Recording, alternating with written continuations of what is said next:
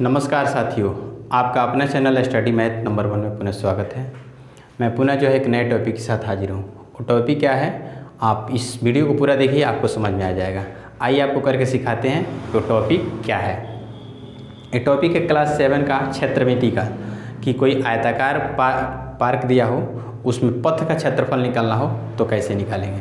तो चलिए video start करके दिखाते हैं। वीडियो पसंद आए तो लाइक करिए। इस चैनल पर अभी तक वन क्लास से लेकर सेवन क्लास तक टोटल मैं वीडियो डाल दिया हूँ। उसकी जानकारी प्लेलिस्ट में मिल जाएगा। आप पूरा प्लेलिस्ट देखिए। सबको मैं क्रम से लिख दिया हूँ, बना दिया हूँ। आप उसको देखिए और मुझे कमेंट करके बताइए कि आपको कैसा लग रहा है। तो चलिए वीडियो स्टार्ट करते हैं और सिखाते हैं।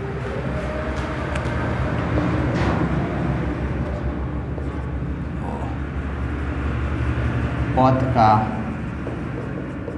क्षेत्रफल कैसे निकालें? पथ का क्षेत्रफल कैसे निकालें? एक सवाल ले लेते हैं। देखिए, ये आयत है, जिसकी लंबाई अधिक होती है, चौड़ाई कम होती है तो इसको आयत कहते हैं। ये दस मीटर है तो ये दस है तो ये कितना होगा? ये भी दस होगा। अगर ये पाँच है तो ये कितना होगा? पाँच। अब देखिए पथ की मैं एक बाहर से बना रहा हूँ, बाहर से एक और फिगर तो ये पथ की इस, ये देखिए, ये पथ की चौड़ाई, ये पथ है, इसकी चौड़ाई ले लेता हूँ, मान लीजिए चार मीटर। ठीक है? चार मीटर। तो हमको निकालना है इसका क्षेत्रफल, ये वाला, इसको पथ बोलेंगे। तो बहुत सिंपल है, पथ का क्षेत्रफल।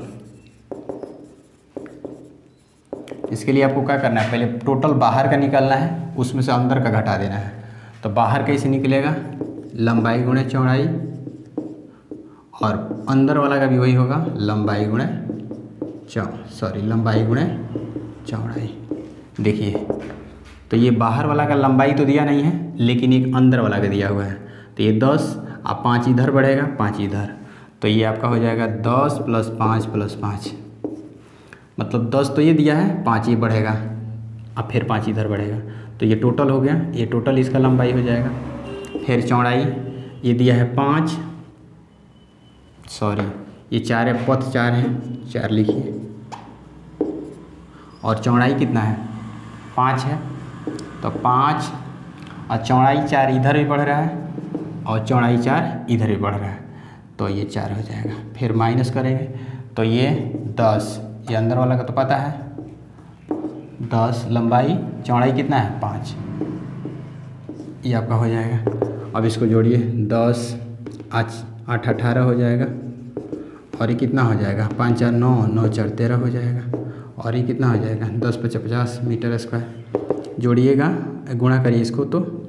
अठारह तीन, चौवन। और अठारह अट्ठाने अठारह पाँच कितना होगा? तेईस मीटर स्क्वायर, माइनस पचास मीटर स्क्वायर। घटा दीजिए। दो सौ चौंतीस में से घटाइए पचास। चार घटाइएगा तेरह में से पाँच घटेगा आठ, यहाँ पे एक, यानी ये कुल मिलाकर एक सौ चौरासी। आंसर हो जाए। इस तरीक़ा से कोई भी पथ का क्षेत्रफल आप निकाल सकते हैं। आपको बहुत